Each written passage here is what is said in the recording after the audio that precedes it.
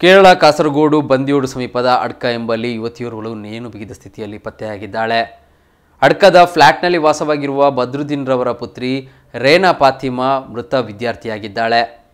ರಾತ್ರಿ ಊಟ ಮಾಡಿ ಅಮ್ಮನ ಜೊತೆ ಮಲಗಲು ಹೋಗಿದ್ದ ಈಕೆ ನಿನ್ನೆ ಬೆಳಗ್ಗೆ ಏಳು ಗಂಟೆಗೆ ಅಮ್ಮ ಎದ್ದಾಗ ರೇನಾ ಫಾತಿಮಾ ಕಾಣಲಿಲ್ಲ.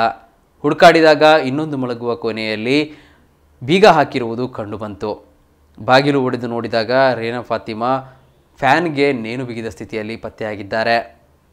ಹತ್ತೊಂಬತ್ತು ವರ್ಷದ ಯುವತಿಗೆ ಯುವಕನೊಬ್ಬ ನಿರಂತರವಾಗಿ ಕಿರುಕುಳ ನೀಡುತ್ತಿದ್ದ ಎಂಬ ಮಾಹಿತಿ ಪೊಲೀಸರಿಗೆ ಸಿಕ್ಕಿದೆ. ಫಾತಿಮಾ ಅವರ ಫೋನ್ ಅನ್ನು ಪೊಲೀಸರು ವಶಕ್ಕೆ ತೆಗೆದುಕೊಂಡಿದ್ದು ಪರಿಶೀಲನೆ ನಡೆಸುತ್ತಿದ್ದಾರೆ.